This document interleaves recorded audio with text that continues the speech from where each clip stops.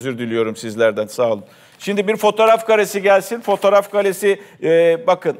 Fotoğraf kim ve nereye bakıyor? Üstündeki kıyafete lütfen dikkat ediniz. Bu kişi Amerika Birleşik Devletleri ve Batı tarafından çok kısa bir süre öncesine kadar terör örgütü olarak adlandırılan HTŞ'nin başındaki kişi, Jolani dediğimiz kişi. Ama üstündeki kıyafete dikkat ediniz lütfen. Bir, e, İsrail askerlerinin giydiği ve İsrail askerlerine kıyafet üreten bir firma, işte burada görmüş olduğunuz e, Emer ne diyor? Emerson Gear firması. Ve üstünde İsrail e, sa- savaş kıyafeti var veya taktik üniforması var. Ve Jolani dediğimiz kişinin baktığı yer Şam. Dumana baktığı yer ise bu e, teyitlenmiş bir haberdir. Ajanslardan teyitlenmiş bir haberdir.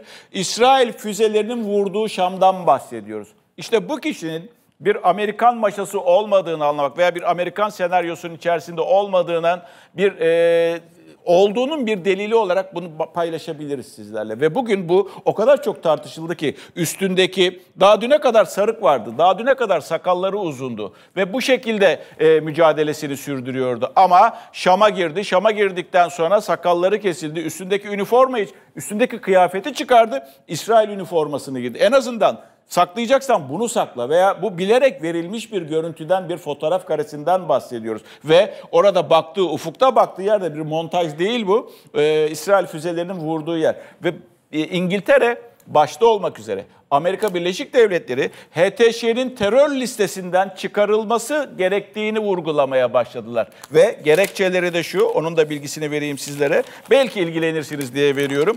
Çünkü önemli diye düşünüyorum.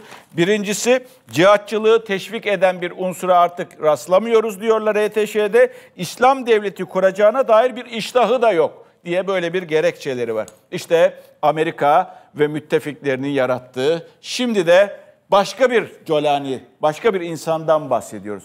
İşte emperyalistler hep böyle davranmaz mı? Ya sizin için Suriye Kürtlerden, Kürtler de PKK'dan ibaret ya. Mevcut Kürdofobik dış politikada neden ısrar edilmektedir?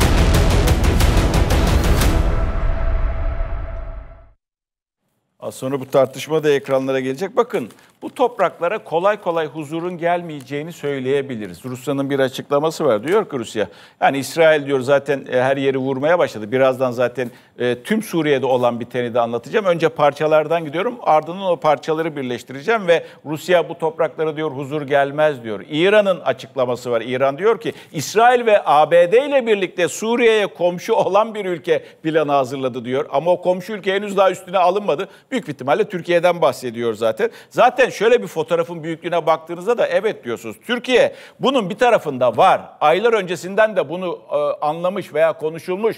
E, Erdoğan 1 Ekim'de Türkiye Büyük Millet Meclisi'nde bu cümleyi e, bilerek sarf etmiş. İstemeyerek de olsa bunu kabul etmiş. Bakın istemeyerek de olsa bu öneriyi veya planı kabul etmiş diye düşünüyoruz zaten. Ve çok değil bundan daha 20 gün öncesine kadar da veya 25 gün öncesine kadar da Türkiye'ye gelen e, İsrail istihbaratının Şimbet'in yetkilisi vardı. Ve burada Türk yetkililerle görüştü. E, İbrahim Kalın'la çay kahve içmeye gelmediler herhalde diye düşünüyorum. Şimdi Şam'a gideceğiz.